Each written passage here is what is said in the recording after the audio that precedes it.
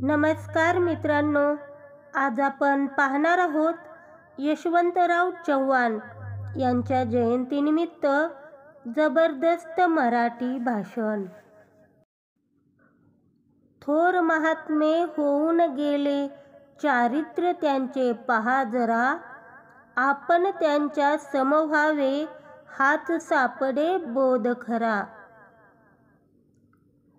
सन्माननीय व्यासपीठ आदरणीय प्रमुख पाहुणे वंदनीय गुरुजन वर्ग आणि येथे जमलेल्या माझ्या सर्व मित्र आणि मैत्रिणींनो आधुनिक महाराष्ट्राचे शिल्पकार यशवंतराव चव्हाण यांचा जन्म बारा मार्च एकोणीसशे तेरा रोजी सांगली जिल्ह्यातील देवराष्ट्रे या गावी झाला. यशवंतरावांच्या आईचे नाव विठाबाई.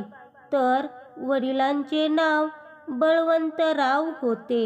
त्यांचे वडील लहानपणीच वारले. त्यानंतर यशवंतराव यांची आई विठाबाई. त्यांचे बंधू ज्ञानदेव यांनी कष्ट करून यशवंतरावांना शिक्षण दिले. त्यांचे प्राथमिक शिक्षण कराड येथे झाले. त्यांनी उच्च शिक्षण कोल्हापूर व पुणे येथे घेतले आणि बी ए एल एल बी झाले. यशवंतराव लहानाचे मोठे होत असतानाच ते राजकारणातही सक्रिय होते. एकोणीसशे बेचाळीसमध्ये स्वातंत्र्य लढ्यात भूमिगत होऊन त्यांनी कार्य केले.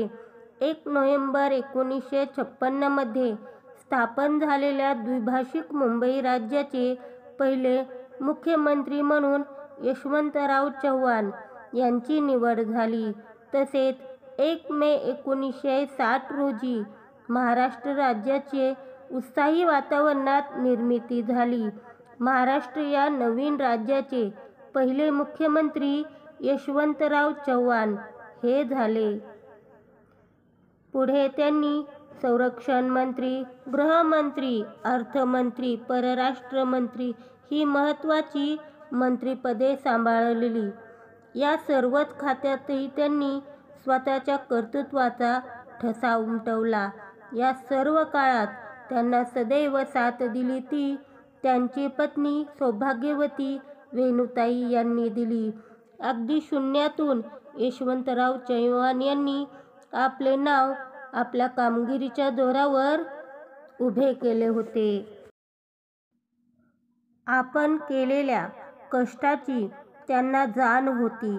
कोणत्याही पदाचा कधीही गैरवापर त्यांनी होऊ दिला नाही. आपल्या समाजातील दारिद्र्य मिटवून टाकणे हे त्यांचे एक स्वप्न होते.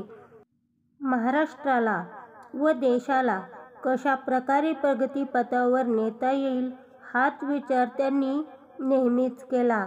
ते प्रगत विचारांचे होते. महाराष्ट्राला विकासाच्या शिखरावर नेण्यासाठी त्यांचा मोलाचा वाटा आहे. आपल्या कर्तृत्वाने राज्यातच नव्हे तर संपूर्ण देशात आपले नाव उंचवणारे यशवंतराव चव्हाण हे लहानपणापासूनच एक विचारी विवेकी आणि बहुआयामी व्यक्तिमत्व होते. अतिशय खडतर परिस्थितीतूनही त्यांनी स्वतःचे कर्तृत्व घडवले होते. गरिबी म्हणजे काय? संघर्ष म्हणजे काय? हे त्यांनी बालपणापासूनच अनुभवले होते. आपल्या पुढच्या काळात नेतृत्व करत जनसामान्यांना अशा अडचणींना सामोरे जाऊ नये म्हणून यशवंतराव चव्हाण यांनी बरेच प्रयत्न केले. अशा प्रकारे पंचवीस नोव्हेंबर एकोणीसशे चौऱ्याऐंशी रोजी यशवंतराव चव्हाण यांचे निधन झाले.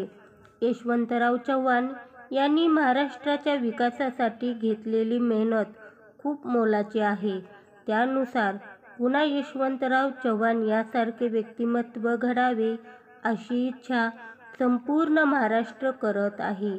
आज खरे तर महाराष्ट्राला यशवंतराव चव्हाण यासारख्या चारित्र्यसंपन्न व्यक्तिमत्वाची गरज आहे.